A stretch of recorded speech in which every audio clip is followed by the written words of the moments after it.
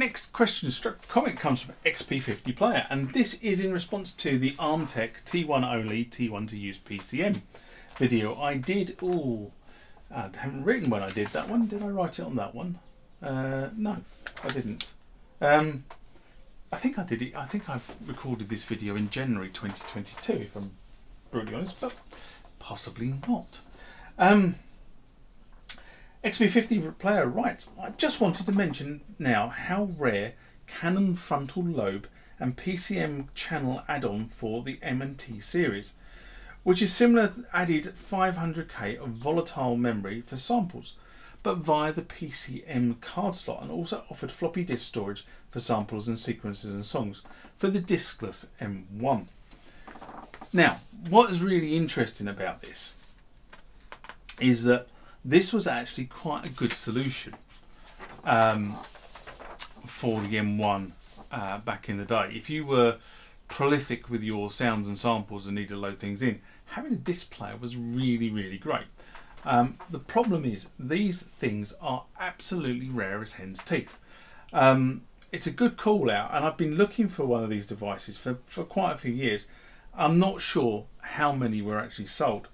Um, $800 was the price for one of these back in 1988, um, which was a chunk of cash on top of an M1 or a T1 at the at point in time.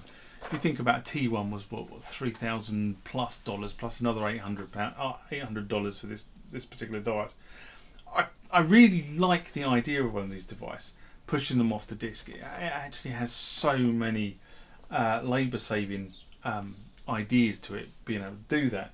Um, and you know, if you can't have stable cards, the $800 price tag actually starts to look fairly reasonable. If you think that at that point in time, these cards, the memory cards, I can't remember what they were brand new, but you wouldn't have got much change out of $100 brand new for a memory card. So $800 is eight memory cards, and you could get considerably more than eight memory cards worth on a set of discs. And, and discs were 10, 10 bucks a piece. So, you know, you kind of had to work it out on that sort of basis. In the initial thing, it was, oh, that's expensive. But after you actually work through the maths, you go, actually, you know what? It's not as expensive as it may may have seemed. Um, but as I say, they are as rare as hen's teeth. I, I've not seen one of these come up in the market space ever, I don't think. Doesn't mean they don't exist, I just have never seen one come up. Remember, like, comment, subscribe to the channel. Go over to Instagram and follow me there. Go over to Facebook, follow me there. That's where the normal notices are. And consider becoming a Patreon.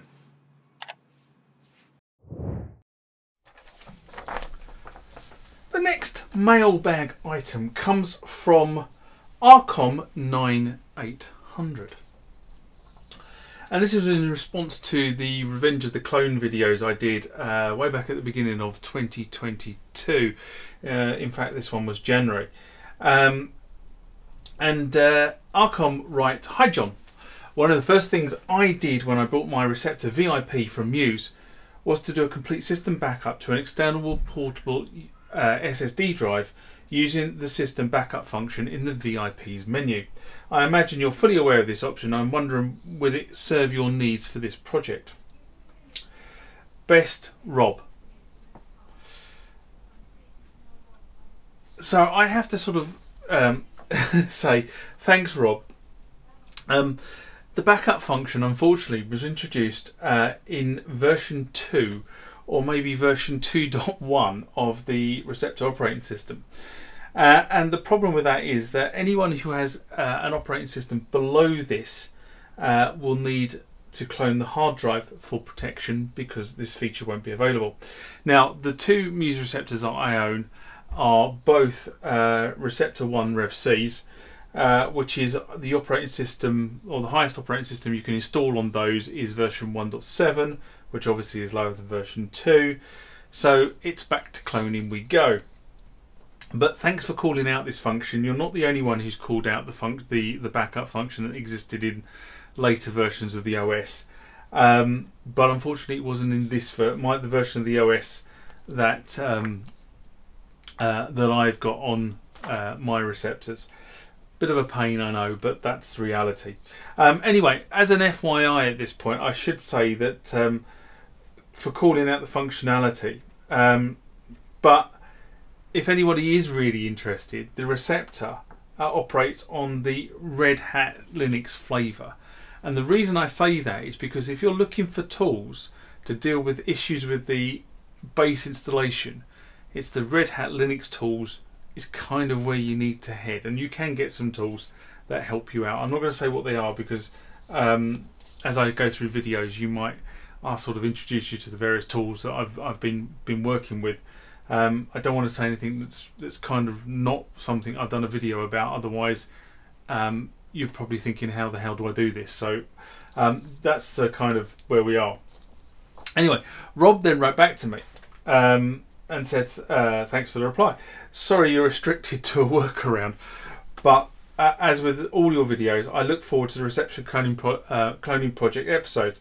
And such a pity Muse have left us all high and dry. Yes, and I think that is um, one of the biggest problems um, with uh, where Muse was. Uh, I've said many times on the channel that I have always thought that the Muse receptor was a great idea. I think the Sea Lake audio system is a great idea, and there's another one, and there's a newer one, and I can't think what it's called now, but somebody will pull me up on it. Um, and I think that's a great idea. I think these these kind of products are, you know, of, of kind of band in your box style products, especially for gigging musicians. And I know, you know, several musicians, several big musicians, uh, while on tour, were using uh, receptors, you know, two receptors to to provide a lot of the the virtual synths rather than carrying the synths with them. Now, you know, I'm not really a, a virtual synth man, but I do think the VSTs are great. Um, but in response to the specific videos, at this point in time, a lot of the parts had arrived, and I hadn't actually got round to to filming the the further episodes, which actually did happen after this. Um, but there was a lot of progress that was made. It took a lot of lateral thinking. I think is the way somebody who probably knows Linux would probably say, "Oh, well, that was bleeding obvious, John." But I'm not, a, you know, I'm not a Linux coder. I'm not a Linux aficionado, and uh, Unix and Linux, you know, is um, you know something where you do actually have to know your syntax and you do have to understand what you what you're typing when you're typing it. Because if you have a backspace a backspace or a slash or a hyphen or something in the wrong place it can make it do all kinds of weird and wonderful things that you didn't want it to do.